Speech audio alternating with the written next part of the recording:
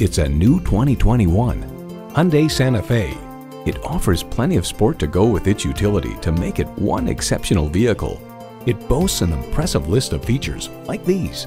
Intercooled turbo inline four-cylinder engine, heated and ventilated leather bucket seats, integrated navigation system with voice activation, auto-dimming rearview mirror, dual zone climate control, remote engine start smart device, streaming audio, hands-free liftgate, memory exterior door mirror settings, and auto shift manual transmission.